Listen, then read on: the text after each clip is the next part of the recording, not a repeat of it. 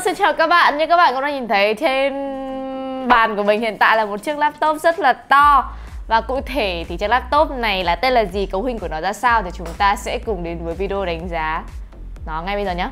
Uhm, các bạn thân mến, với những sự phát triển của thế giới vi tính nói chung mà chúng ta thì đang được sở hữu những mẫu laptop với sức mạnh rất là đáng nể và mang nhiều tiềm năng thay thế máy tính để bàn trong mục đích sử dụng khác nhau từ nhẹ cho đến nặng và trên thị trường hiện nay thì những chiếc laptop 17 inch đã và đang chứng tỏ tiềm năng đó bởi vì kích thước lớn, những cỗ máy này có thể dễ dàng thế chỗ cho một hệ thống PC cồng kềnh, tốn diện tích nhưng vẫn đem đến giá trị sử dụng đủ mạnh mẽ. MSI e thì vốn là một thương hiệu laptop gaming đáng chú ý bậc nhất hiện nay khi nó tỏ ra rất dễ dãi trong việc phục vụ tầng lớp khách hàng chính của họ là game thủ. Với mẫu GE72 thì đã cho thấy một lời tuyên bố đanh thép của công ty rằng là không cần biết phải xài máy bàn, chỉ cần một chiếc laptop này thì bạn đã có thể try hard hiệu quả rồi như mọi khi thì những chiếc laptop thuộc series 7X của MSI không bao giờ bị coi là yếu đuối về thiết kế. Mà ngược lại thì đúng hơn Chiếc GE72 cũng đi theo triết lý như thế. Bởi ngay từ cái nhìn bên ngoài thì chiếc laptop này đã mang đến một cảm giác hứa hẹn được rất lòng game thủ.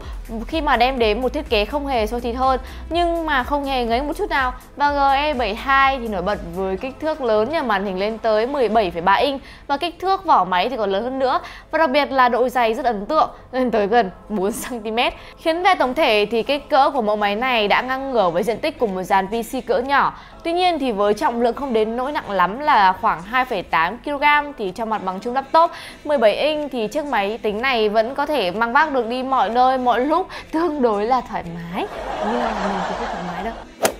Dĩ nhiên thì đối với những bạn đã quen tập cơ tay thì sẽ như vậy hay là bạn tập gym chẳng hạn Bên cạnh đó thì những đặc điểm riêng biệt của máy Gaming thì vẫn thể hiện rất rõ nét trên chiếc GE72 này như là logo khiên rồng này, nắp máy và các đường gân nổi đầy vẻ hăm dọa hay là bàn phím được tích hợp đèn nền đỏ truyền thống. Đặc biệt chính là cái mông rất to và cái thân nhiệt rất là lớn hứa hẹn là khả năng vận hành hiệu quả và không bị quá nhiệt cục bộ và việc sở hữu kích thước lớn như thế thì cũng thể coi là một lợi thế của MSI mang đến hầu như tất cả các giải pháp kết nối thông dụng hiện nay như là ổ đĩa quang, USB 3.0 Internet, DisplayPort, đầu đọc thẻ,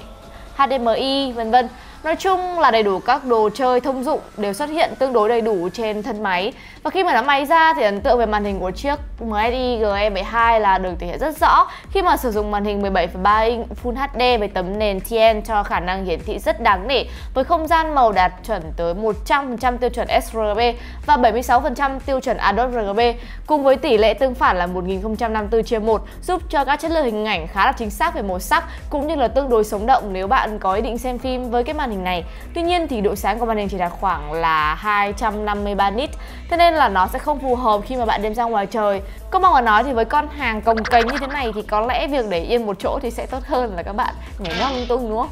Còn về thứ đáng nói nhất trong cái video này mà mình sẽ được cập đến, chính là sức mạnh của nó.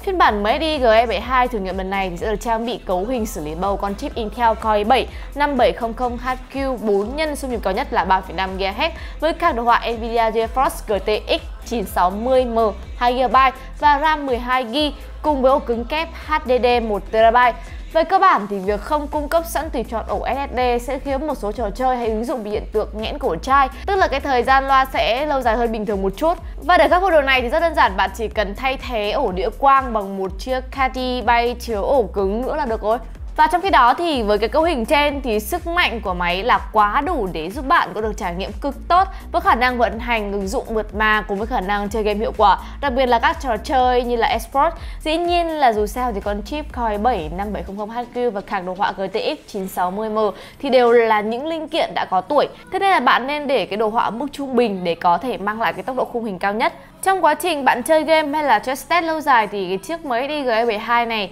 thì sẽ phát huy tốt cái sở trường của nó khi mà nhiệt lượng tỏa ra từ máy lại thấp một cách đáng ngạc nhiên. Bởi như đã đề cập thì nhờ cái thiết kế lớn, nhiều khe thoát khí cùng với hệ thống quạt tản nhiệt lớn thì đã giúp cho chiếc laptop này có được khả năng điều hòa rất tốt. Thời lượng pin thì có lẽ đây là điểm không phải là mạnh của chiếc MSI GE72 Dù nó được trang bị quả pin khá lớn là 6 cell Thì chiếc laptop này chỉ trụ được khoảng 3 tiếng đồng hồ trong cái điều kiện làm việc tiêu chuẩn. Và nếu như bạn muốn chơi game thì tốt nhất là nên cắm sạc nếu không muốn là đang chơi mà bị đứt cánh giữa đường. Nhưng điều này thì là hiển nhiên với một chiếc laptop thiết kế để thay thế máy tính bàn như vậy. À, nhìn chung thì chiếc MSI GE72 thì vẫn xứng đáng là một mẫu laptop rất đáng mua khi mà ít nhất là trong cái tầm giá rẻ chỉ từ 15 triệu đồng và với lợi thế về kích thước